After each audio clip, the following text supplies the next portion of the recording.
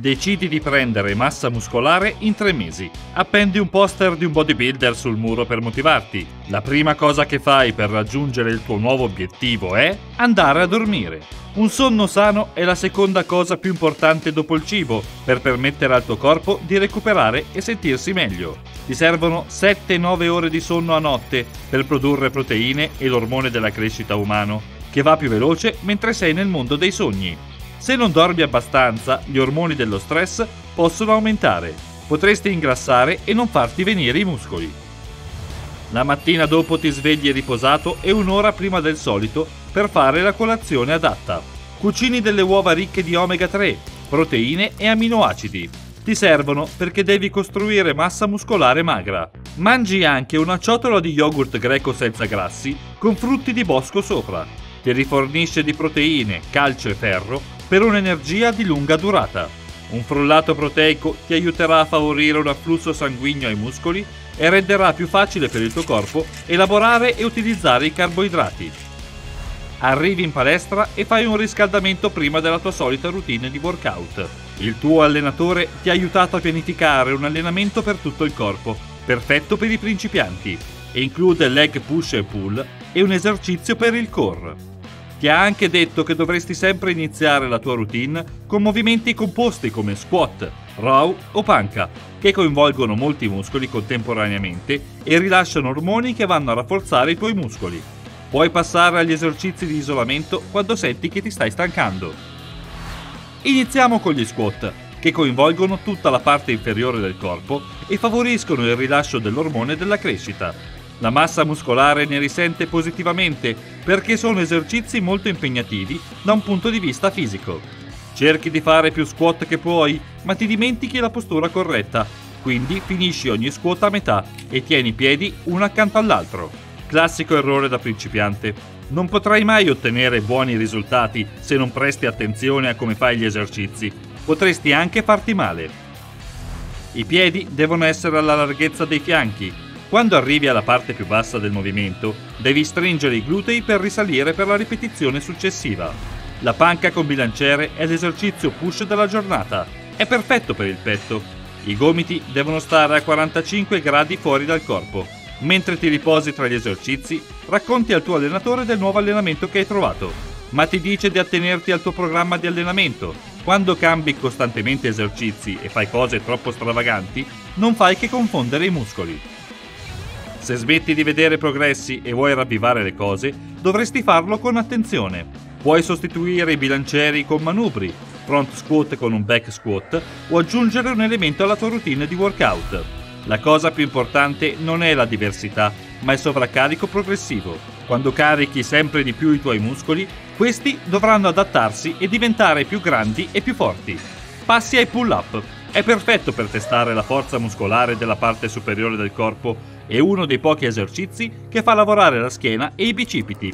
Dovresti essere in grado di iniziare con 6 pull-up lenti in postura corretta e arrivare a 12 ripetizioni. Se senti che è troppo facile per te, prendi un manubrio e tienilo tra le caviglie mentre vai su e giù. Movimenti fluidi per consentire ai muscoli di adattarsi. Il crunch inverso è il tuo esercizio principale della giornata. Allena tutti gli addominali e quelli bassi in particolare saranno forti e potenti.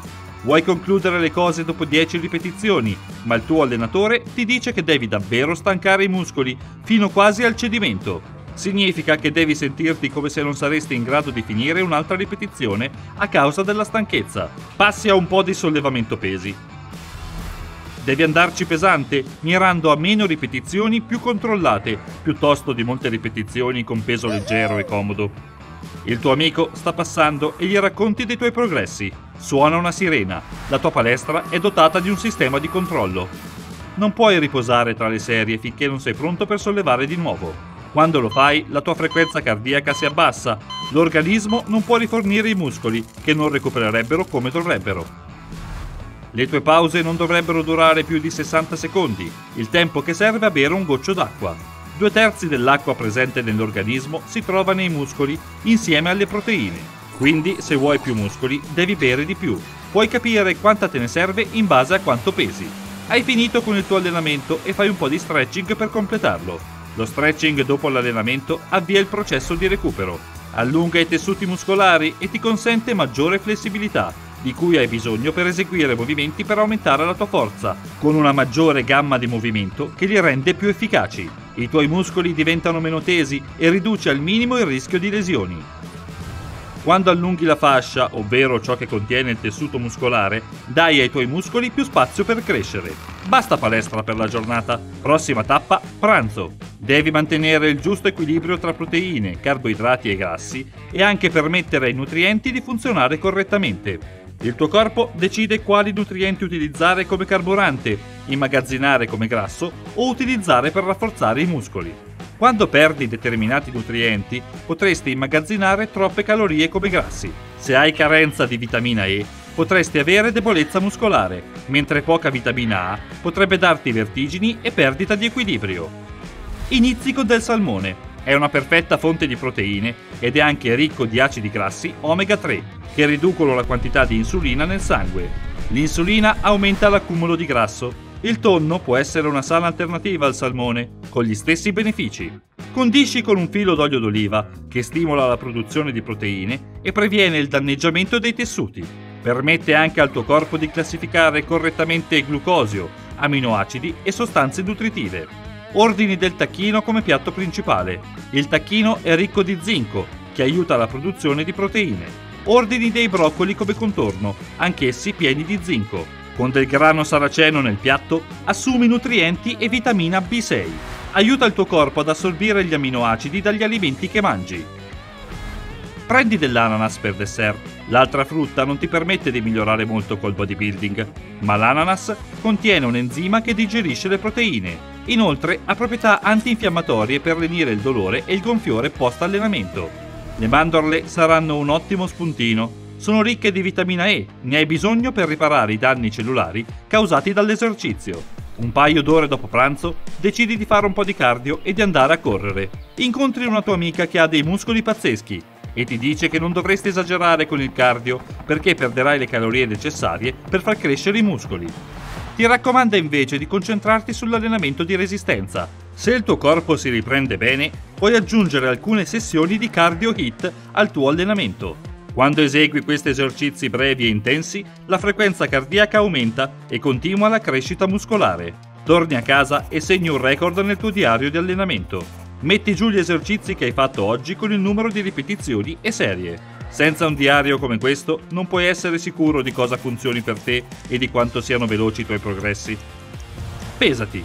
Se rimani sempre uguale e vedi i risultati del tuo allenamento, potresti star perdendo grasso e aumentando in massa muscolare. Quindi è più importante monitorare la perdita di grasso corporeo rispetto alla perdita di peso totale. Pianifichi il tuo allenamento per il giorno successivo. Alleni ogni gruppo muscolare due volte a settimana per aiutare i tuoi muscoli ad adattarsi e crescere più velocemente.